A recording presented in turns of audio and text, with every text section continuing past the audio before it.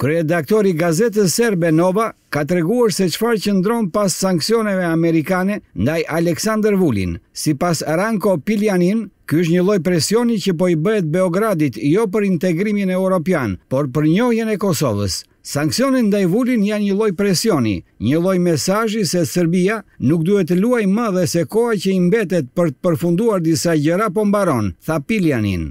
Moska nga ana tjetër beson se është një presion tjetër ndaj Serbisë për t'u larguar nga Rusia dhe, siç thonë ata, për të hequr dorë nga politika e saj parimore, që ajo ka adoptuar që nga fillimi i konfliktit në Ukrainë.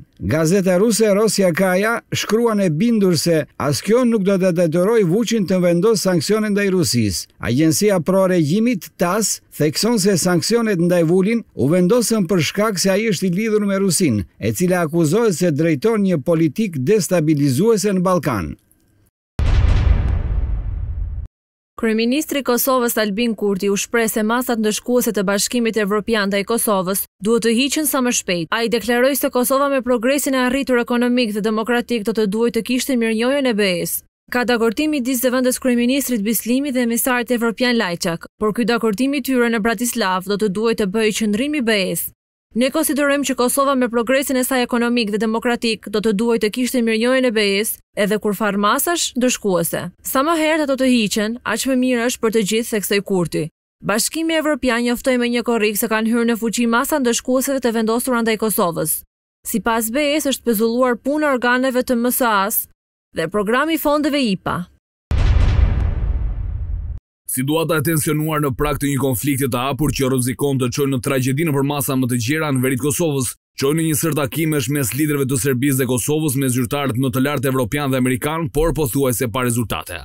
Nuk është aspak inkurajuese deklarata e presidentit serb Aleksandar Vuçiq pas takimit të fundit me sekretarin e përgjithshëm të NATO-s Stoltenberg, dy ditë më parë se gjërat po dalin jashtë kontrollit, Edhe pse Brukseli kërkon deeskalim. Për gazetën serbe Danas, Nikola Luniç, drejtor ekzekutiv i Këshillit për Politika Strategjike, thotë, Duke pasur parasysh që rajoni i Ballkanit Perëndimor është me interes strategjik për NATO-n, Serbia duhet përfundimisht të ndërtojë marrëdhënie besimi me Aleancën, e cila është e përkushtuar për paqen dhe stabilitetin në veri të Kosovës në përputhje me mandatin e OKB-së që i është besuar.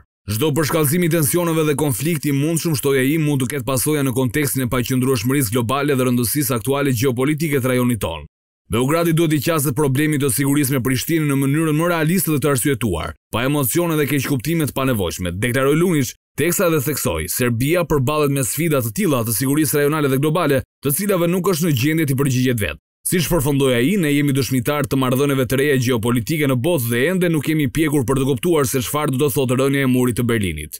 Armatosja e shpejtë e NATO-s dhe BE-së si dhe sofistikimi i kërcënimeve të sigurisë, tregon se pa angazhimin e aleancave me vendet e rajonit duhet t'i frikësohemi historisë së papërfunduar të Ballkanit dhe skenarëve apokaliptik global, theksoi Nikola Luniç.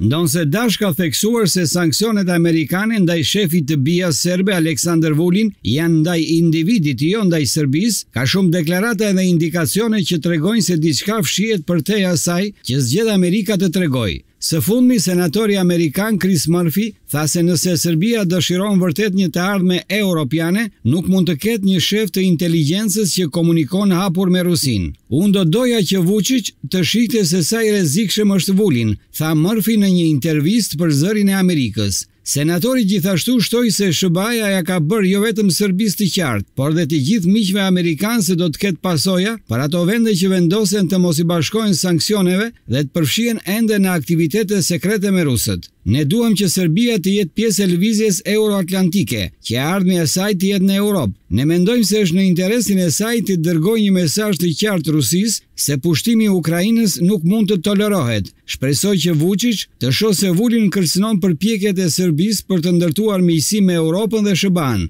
deklaroi Chris Murphy.